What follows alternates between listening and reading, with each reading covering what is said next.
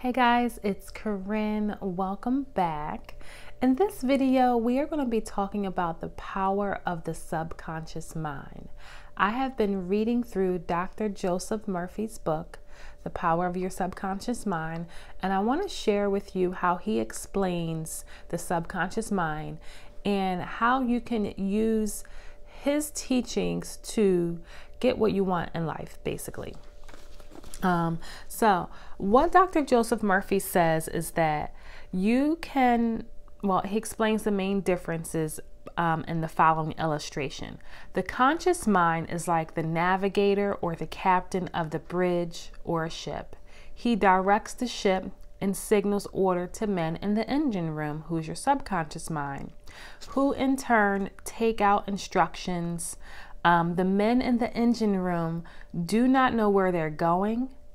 They follow orders. They would go on the rocks if the captain directed them to go onto the rocks.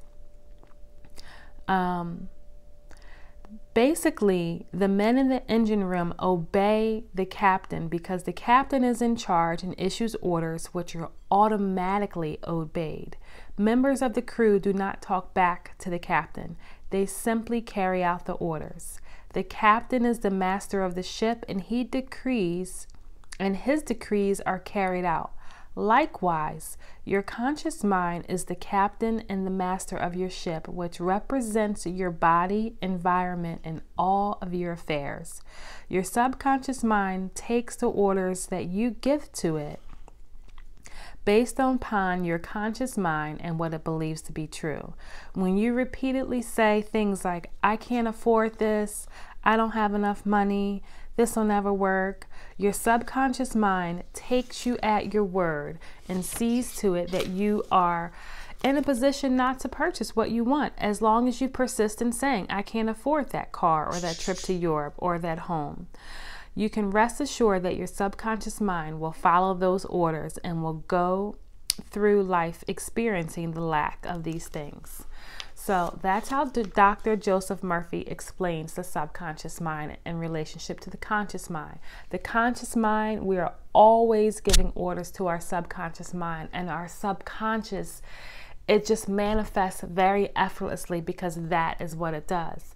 Now, imagine if you took this exact principle and applied it to romance, applied it to your business or your career or your health or your body or your fitness or your skin. Imagine if you told yourself that money is flowing into my life so easily. I'm always receiving large checks. I'm constantly receiving money out of the blue. Money is the easiest thing for me to manifest opposed to saying all the time, I don't have to work, I don't have enough money, I have to work hard to make money. Um, I never have enough, enough money, I can't afford it. Your subconscious mind is constantly taking orders. One thing that you can do is you can speak to your subconscious mind. You can relax your body, put yourself in a nice, quiet state, and speak to it. Divine mind within. I now command you to direct me to having a successful day filled with sales, filled with joy, filled with receiving large sums of money, um, or have it direct you to anything that you want. Stay tuned for more Joseph Murphy. If you like anything on this video, please go ahead and hit the like button. Um, and it also helps to go out to other people in you on the YouTube channel. So thank you so much for watching and I'll catch you on the next video as we continue to talk about our subconscious mind.